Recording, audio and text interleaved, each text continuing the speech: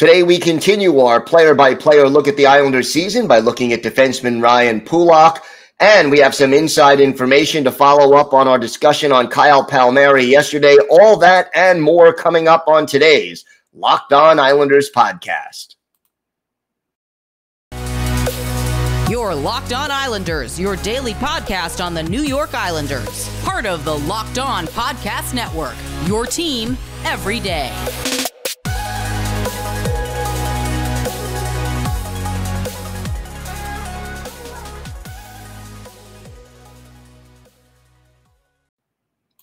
And hello, everyone, and welcome to the weekend edition of the Locked On Islanders podcast. So glad you could join us today. Thanks for being a part of the Locked On Islanders family and for making Locked On Islanders your first listen every day. We are free and available on all platforms. And yes, that does include YouTube. So subscribe today and you'll get uh, each new episode in your inbox midnight, Monday through Friday. We've got a lot to talk about, but first, we want to hear from you. If you've got something Islanders related on your mind, if you have a question, a comment, a topic you'd like us to discuss on the show, feel free to send us an email. The email address is lockedonislanders at gmail.com. And if you leave your first name and where you're from, we're happy to mention you on the show when we talk about whatever it is that's on your mind. You can also follow the show on Twitter at Locked On Isles, and you can follow me, Gil Martin, on Twitter at Ice Wars, NYR, VSNYI. We'll keep you up to date on all the latest Islanders news, notes, and happenings throughout what will be a pivotal offseason for this team from the draft to free agency, trade rumors, everything that happens to this team between now and the start of training camp in September. We're going to get things started today with a look at Ryan Pulock's season. Pulock uh, missed some time, and I think that really was the biggest story for him this year. And one of the things that, you know, so often you hear me talking about this Islanders team and you hear fans talking about this Islanders team, and you ask, okay, what went wrong this season? And people talk about COVID and they talk about uh, the 13 game road trip, and and I've mentioned the lack of a puck moving defenseman outside of Noah Dobson, and and all of those things are true, and they are all factors. And then you can go to needing another goal scorer and and and improving the power play, although that did finally happen late in the season. But one thing that gets overlooked, and I wanted to talk about it, is that Ryan Pulock, one of the team's top two defensemen, missed 26 games this season. And that hurt this team significantly. Uh, when you're without, look, the Islanders are a defense first team, and they played, you know, 26 games without one of their top two defensemen, some games without both of them. But losing Ryan Pulock really, really hurt this team. And you, you look at the numbers, and there's just no doubt that he was missed uh, when he was out of the lineup. In 56 games this year, five goals, 21 points. He had an even plus minus, uh, which is the lowest he's had since 2018. But again, because the team struggled that is uh, not bad, even. Only two penalty minutes. Two of his five goals came on the power play, four of his 16 assists. He took 122 shots in 56 games. So that's about, uh, you know, two, little less than two and a half shots on goal per game.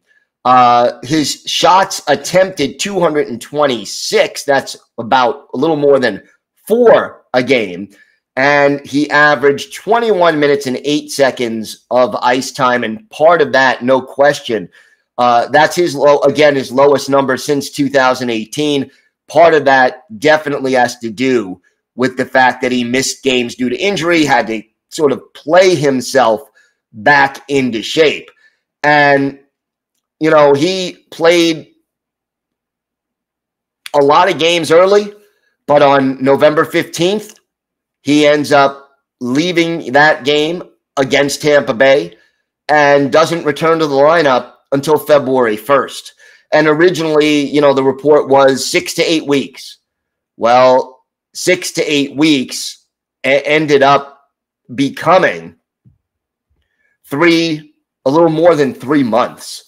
And that really, truly did hurt the Islanders. And you, you look at his average minutes per game early in the season before the injury 22 and a half, 2204, 21, 2508 in, in a shootout game, 23 27.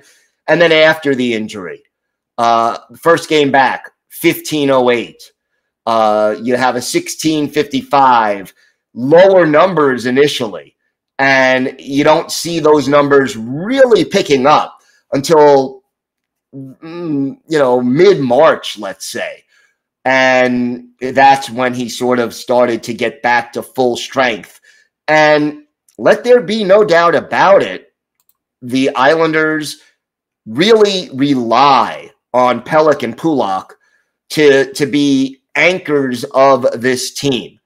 And the fact that he played 56 games, the same number he played in 2020, 2021, which was obviously a COVID shortened season, uh, had five goals as opposed to two, one more assist. Uh, you know, you saw when he was healthy, he remains one of the better players on this team at 130 blocked shots and 86 hits. And again, I think the physicality, the number of hits, a little lower based on the fact that he was not healthy, missed time, and was affected uh, by that, at least when he first came back. So, the Islanders really need a healthy uh, Ryan Pulock. Again, if he doesn't miss 26 games, do the Islanders make the playoffs? Probably still the answer would be no, but are they still in the playoff hunt a little bit longer? I think the answer to that may very well be yes. And going forward, uh, you know, the Islanders definitely have two, I'd say, well, they have three defensemen who they definitely consider part of the core. And that's Pelech, Pulock, and Noah Dobson.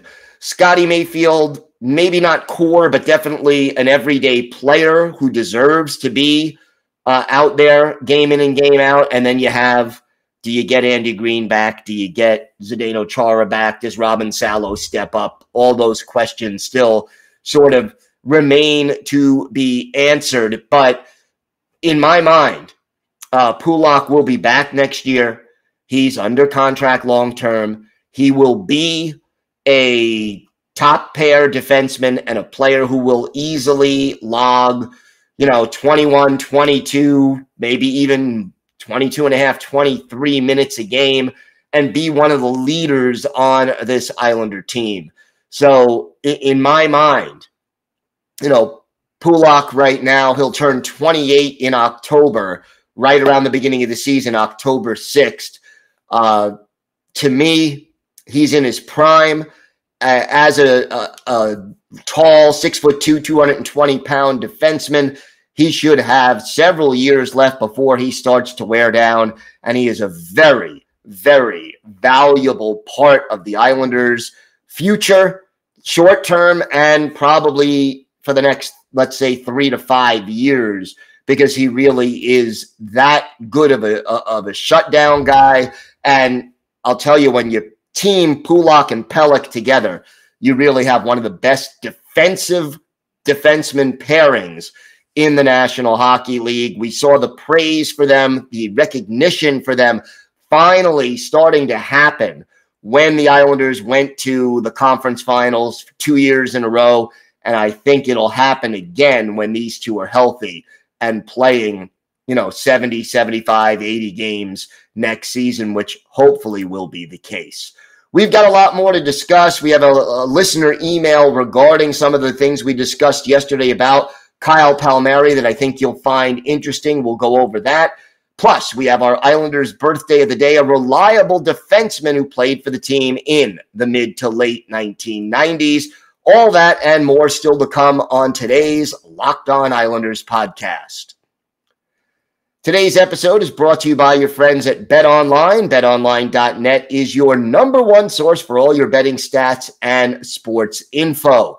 You can find all the latest sports developments, news, and odds, including this year's basketball championship matchup, the NHL hockey conference finals, Major League Baseball, and of course, all the latest fighting news from MMA and UFC to boxing. Bet Online is your continued source for all your sporting wagering information, including live betting esports, and more. Hey, you could check out who's going to win some of the NHL awards, who's going to win the Stanley Cup. Uh, lots of futures out there for the NFL, lots of things to check out at betonline.net. Head to the website today or use your mobile device to learn more about the trends and action. Bet online, where the game starts. We have an important favor to ask you. We've put together a, a, survey so we can learn more about listeners like you and make your favorite Locked On podcasts even better. This is an opportunity to tell us what you like and don't like about Locked On Podcasts. So go to lockedonpodcast.com slash survey right now to get started. It won't take very long, and everyone that completes a survey can qualify for a chance to win one of 10 $100 Ticketmaster gift cards – to take our audience survey, go to lockedonpodcast.com slash survey, and thanks for your help.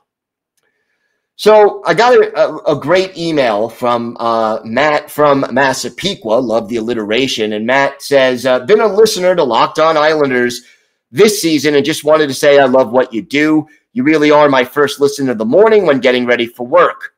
I just wanted to comment on the Palmieri spot. My co-season ticket partner uh, his son is married to a family member of his, so I have a little inside information. Most people don't know. Palmieri was hurt most of the first half of the season. Before he ended up on the IR, he was dealing with an injury for most of the first half, and it really limited his production.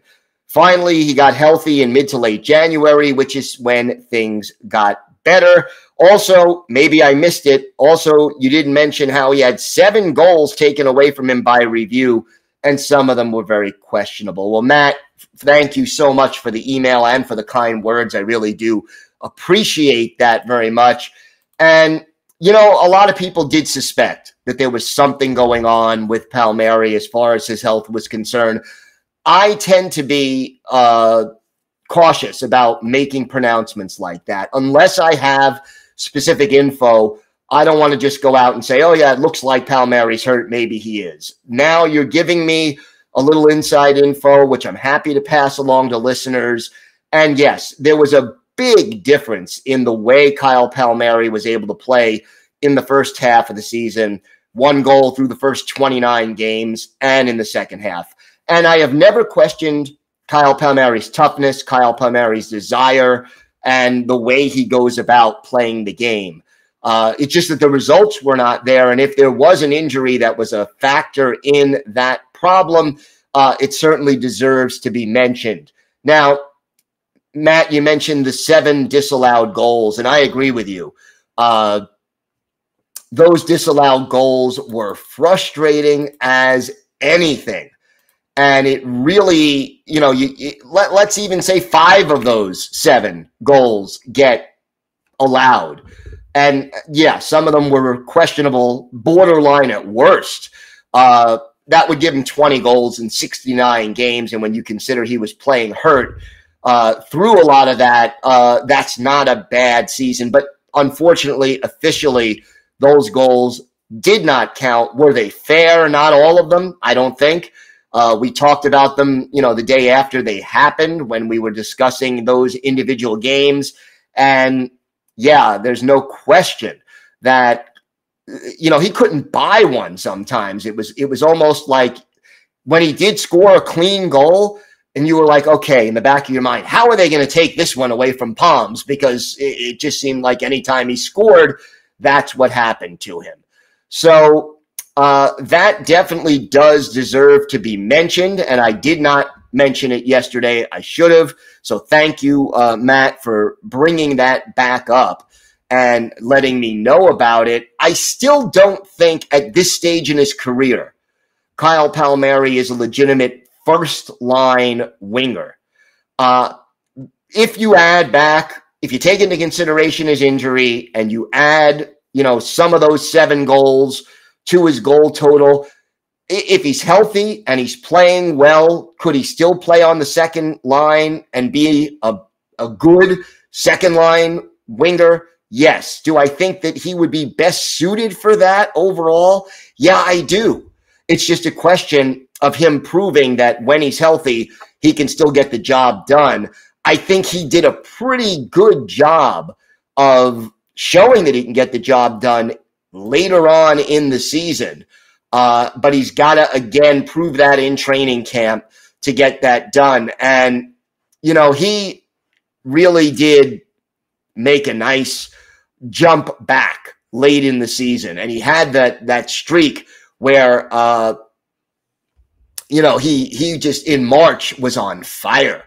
Uh, and, and that was a good thing. I mean, just to see him score seven goals in the month of March and then sort of carry that over into early April, getting back the Kyle Palmieri that this team knows, you know, he, the player he can be was one of the reasons why going into, let's say, the end of uh, March, the Islanders had a glimmer of hope that they could, you know, put some wins together and get back into the playoff picture. He was definitely a part of that uh, stretch from about March 10th to the very beginning of April, where the Islanders were probably playing their best hockey of the season.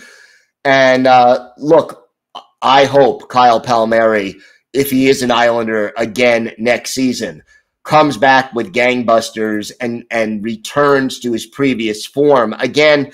Uh, just two years ago, 2019, 2020, he scored 25 goals. Uh, since then, he scored 25 in the last two seasons combined. Now, one of those seasons was shortened by COVID. One of those seasons was shortened by his injury and by COVID. So, uh, at least Palmieri's season was shortened. So, yeah, uh, you know, he has a lot to prove. And I think this year's training camp and the early part of the season are going to be very important for Palmieri. He is 31 years old, still should have a few years left to be a solid contributor before he starts to wear down. And I just wanted to mention that. So, Matt from Massapequa, thank you so much for that email. It was very insightful and appreciated and I'm happy to pass that information along uh, concerning Kyle Palmieri, and hopefully we'll see more of the uh, Kyle Palmieri we were used to seeing during his prime with the New Jersey Devils, uh, and even before that with Anaheim. But really, his best hockey was with New Jersey. We have got more to get to on this episode of the Locked On Islanders podcast. We've got our Islanders birthday of the day and a few more thoughts still to come. So uh, stay with us. We'll be back with more in just a moment. Time now for our Islanders birthday of the day, and we're going to go back to the mid to late 90s. Uh, today is the 56th birthday for former Islanders defenseman Doug Houda. Houda, Six foot two, 210 pounds, uh, a native of Blairmore, Alberta. Uh, drafted by the Detroit Red Wings in 1984 in the second round. And Houda was a competent offensive defenseman in juniors. He had a 20 goal, 74 point season his last year in the Western League. Uh, and then uh, also in the AHL, put up a 42 point season. But in the NHL, he was a little bit more of, of, of a defensive oriented kind of a guy who typically put up uh, triple digit penalty minutes in a season. Uh, stayed with the Red Wings through the 90 91 season, where he joined the Hartford Whalers, then played for the LA Kings, Buffalo Sabres, and then joined the Islanders early in the 96 97 season. And was traded to the Anaheim Mighty Ducks midway through 97 98. Later played for Detroit and Buffalo again. Uh, in his career, 561 NHL games, 19 goals, 82 points, and yes, 1,104 penalty minutes. He added 18 playoff games, three assists, none of those games with the Islanders. And Houda has since gone on to be uh, a reliable assistant coach uh, for the Boston Bruins and the Detroit Red Wings. He's been with Detroit since 2016, 2017. So he is still active in the National Hockey League. And, you know, Houda, uh, you know, hard to say who he reminds me of. Uh, I, I, don't think he's quite like Zdeno Chara, even though six two. that's not six nine. Uh, but he was sort of a, a, a, solid defensive defenseman who could put up the occasional point. And we're going to go back and look at one of his better games with the Isles, December 26th, 1996, Fisherman Jersey time. Uh, Islanders hosting the New Jersey Devils at the Nassau Coliseum. Martin Brodeur, the goalie for New Jersey, Eric Fichaud in between the pipes for your New York Islanders. And the Devils got on the board first. Steve Thomas scoring late in the first period, his six from Dave Andreychuk and Bobby Holik. Time of the goal, 1907. Islanders down 1 nothing. It stayed that way through the first two periods. But in the third, the Islanders answer. Our Islanders' birthday of the day, Doug Houda, ties the game just two minutes and 10 seconds into the third period. His second of the year, Derek King and Bryan Smolinski with the assists. And then in the third period, the Islanders are shorthanded. Uh, there was a fight between Scott Niedermayer, uh, Nicholas Andersson, and Scott LaChance for the Islanders, Scott Niedermayer and John MacLean for the Devils. It all started when Nicholas Andersson uh, took a double minor for spearing, but the Islanders get a shorthanded goal out of that. Ziggy Palffy is 21st from Marty McInnis. Islanders up 2 1 at 6.03 of the third period. Then Derek King extends the Islanders' lead, his 12th. Kenny Jonsson and Rich Pilon with the assist. And an empty netter by Bryan Smolinski, unassisted, his ninth at 1950, closes out the scoring. Islanders beat the Devils by a score of four to one. Uh, Eric Fichaud, 25 saves. The Islanders outshot 26 24. For our Islanders' birthday of the day, however, Doug Houda, he had the one goal. He was a plus one, had two shots on goal, and uh, again came up with that big tying goal that changed the momentum early in the third period. Wanted to talk a little bit about next week. We're going to start looking more at the upcoming NHL draft. We're going to start breaking down some prospects, and we're going to continue our player by player look up and down the Islanders roster. So make sure that you join us for that. I want to wish everyone a, a great weekend. Hard to believe we're into June already. Time really is flying by, but have a great weekend, everybody. Stay safe uh, and enjoy what should be a great weekend. Thanks for making Locked On Islanders your first listen every day. Now make your second listen Locked On NHL. Locked On NHL covers the playoffs like no other, and you can hear the latest news and opinions from local experts every Monday through Friday. It's free and available wherever you get podcasts. Enjoy the weekend, and of course, let's go Islanders.